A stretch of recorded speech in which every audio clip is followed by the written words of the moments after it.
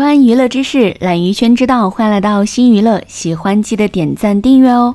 她是真正的女老大，号称澳门第一女赌王。她是香港十四 K 元老、黑道教父胡须勇的义妹。电影《古惑仔》中的红星十三妹就是以她为原型创作的。她就是大姐大司徒玉莲。在澳门，除去赌王何鸿燊，还有一位巾帼不让须眉的司徒玉莲，而她也是在港澳唯一的女大佬。或许有人觉得向太陈岚厉害，但我觉得这个白手起家走到身价百亿的澳门第一女老大，比向太陈岚更具传奇。在上个世纪的香港，本身就是一个黑社会横行的时代，不单单是现实生活中，就连影视圈复饱受荼毒。比如刘嘉玲事件、李连杰经纪人蔡子明事件、梅艳芳在兰桂坊遭人掌掴，更何况在这个贫民窟深水埗，更是成为了帮派之间打斗的老地方。有句话说得好，适者生存。作为一个十几岁的花季少女，司徒玉莲没有被吓到，也因为见多了这样的场面，养成了处事不惊的性格。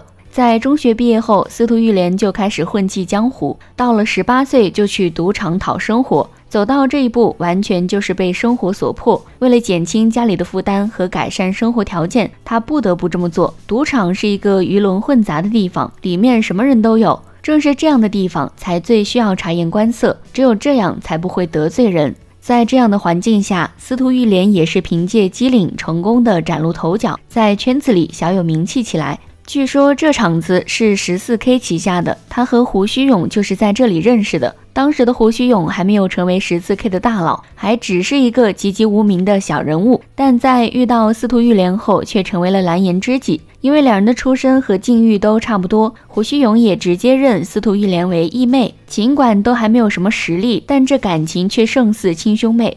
随着时间的流逝，胡须勇在十四 K 的名气越来越大。每每在闲暇之际，他都会去找司徒玉莲，而且司徒玉莲的能力也是有了显著的提升，事业也是慢慢的提升。再加上胡须勇在十四 K 的地位，司徒玉莲逐渐在江湖中也是有了一定的名气。做人圆滑的司徒玉莲并没有依靠胡须勇，硬生生的靠着能力在江湖中混得风生水起。当胡须勇的实力越来越大，俨然成为了十四 K 的大佬之一，他也打算开设赌场，而这些都交给了司徒玉莲打理。不得不说，司徒玉莲的能力是非常强，为人豪爽的她身上也是有一股女中豪杰的气质。只是没有想到，就是这样的一个人物，却在男人身上栽了跟头。在司徒玉莲二十六岁时，有一个富家子弟曾国宇喜欢上了她，并对其展开了猛烈的爱情攻势。本身就处于底层社会的她，面对曾国宇的追求，无疑也是沦陷了。与曾国宇结婚后，司徒玉莲也是隐退，安心的做一个相夫教子的豪门阔太。在豪门之中，司徒玉莲和曾国宇也是过上了幸福平淡的日子。短短的几年时间，就为其生下了两男一女。在豪门生子，无疑就是最大的欢喜和立足。而生子频繁的司徒玉莲也深知这一点。只是没有想到，出身市井的他和豪门的观念有着很大的不同。尽管他很努力做好一个贤妻良母，但依旧走向了离婚。离开豪门的时候，他来到了三十二岁，而且他还将三个孩子带出来了，放在身边独自抚养。彼时的江湖早已不是六年前他所在的那个江湖了。虽说有胡须勇在，但并不是那么容易的。一边为了养活孩子，他只能重操旧业；一边为了躲避夫家，他选择前往了澳门。在澳门，想要进入到赌场，那必须要和洪燊的点头。毕竟这和香港不一样，已经成为十四 K 的大佬胡须勇只能选择出面替义妹引荐给赌王何鸿燊。十四 K 不单单在香港，有很多地方都有十四 K 的存在。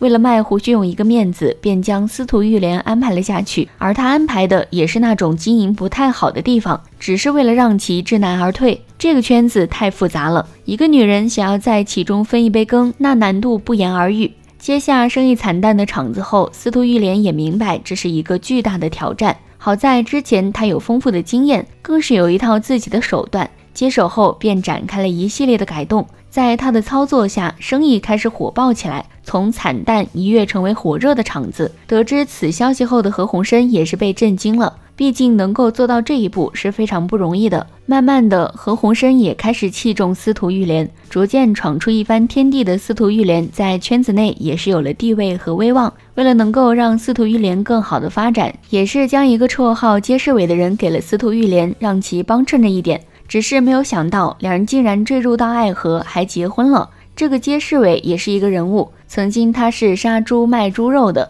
而且揭世伟也是同行们给他起的绰号。性格耿直的他在卖猪肉时，因为价格的问题与一个顾客吵架，便发生了冲突。随后揭世伟也是逃往去了菲律宾。偶然的机会下，他也是进入到了圈子中，很快就崭露头角。但时间一长，他也是选择回到了澳门，投奔了何鸿燊。在何鸿燊的引荐下，司徒玉莲和揭世伟宛如珠联璧合，迅速的开拓了一番天地。开疆拓土的同时，两人也是擦出了爱情的火花，更是选择结婚。只是没有想到，孩子们却不愿意。尽管如此，司徒玉莲仍旧与其结婚了。只是他没有想到，因为他的坚持，在后面也是埋下了隐患。一九八八年，赌王何鸿燊做出改革，澳门葡京赌场改变了经营制度，允许大家承包赌厅，双方按照比例分成。这无疑就是一个机会，让不少人都纷纷想要吃上一口蛋糕。司徒玉莲加上街市伟，可谓是强强联手，成为了澳门的一个大佬。现如今的司徒玉莲不再靠着赌王何鸿燊，而是自立门户，成为了中间商。本身这个圈子就非常的乱，为了能够经营稳妥，他们也是招收了很多的叠马仔。慢慢的，司徒玉莲的名气越来越大，也有了一个女赌王的称号。本身这就是一块大蛋糕，吃的人也是越来越多。但能够坚持到最后的，无疑都是大佬人物。在司徒玉莲和街市伟经营下，也是和澳门十四 K 大佬摩鼎平产生许多摩擦。毕竟利益当头，双方时常发生冲突。注意，香港十四 K 和澳门十四 K 并不是一路，十四 K 有很多的分支，所以胡须勇并没有任何的招。再加上澳门也是摩顶平的地盘，为了能够解决这一麻烦，司徒玉莲也是找到了崩牙驹。崩牙驹也是十四 K 的一个头目，当时还为了争夺进圈子，与摩顶平抢夺过，但没有抢赢，甚至还差点被灭了。当司徒玉莲找到崩牙驹时，崩牙驹也是立即答应了下来。随即，在司徒玉莲和崩牙驹的联手下，也彻底将摩顶平赶了下来，让崩牙驹坐上了澳门十四 K 的大佬位置。而对于司徒玉莲，崩牙驹每每在见到后都会称之为一句“大家姐”。在澳门，司徒玉莲这第一女老大的地位也是逐渐稳固。只是没有想到，是一路高歌的司徒玉莲，却在婚姻上亮起了红灯。因为女强男弱，婚姻也是不长久。或许是为了证明自己，揭世伟开始偷偷的自己搞了起来，还拉熟客去他的私人场子，更是花天酒地出轨。而揭露这一切的，竟然是司徒玉莲的儿子。当司徒玉莲发现后，这段婚姻也是随之破灭。在揭世伟离开司徒玉莲后，也是跌落神坛。更是因为司徒玉莲的缘故，不少人都处处针对和为难他。反观司徒玉莲，在事业上也是平步青云，在澳门赌场的地位仅次于赌王何鸿燊，赚得盆满钵满。为此，他还投资了很多的领域，成立了世纪建业集团。集团下有许多公司都已经上市，司徒玉莲的身价也是超百亿。二零零零年，在何鸿燊四太梁安琪组织的一个剪彩活动上，司徒玉莲再一次见到了揭世伟。彼时的揭世伟似乎也是大改形象，和之前那个屠夫不一样了，颇有些成功人士的气质。而且当初的事情他也知道了是儿子的阴谋，所以再度擦出了爱情的火花。不管曾经有多少恩怨，但在这一见面却全释怀了。为了和揭世伟复婚，司徒玉莲也是召开了家庭会议，但没有想到他的三个子女都不同意。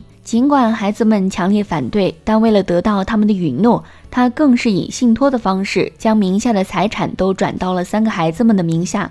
二零零四年，见到揭世伟一度过得落魄，司徒玉莲也是想要拿钱帮助揭世伟，但财产都已经在子女那里，他只能去找子女，但没有想到吃了闭门羹。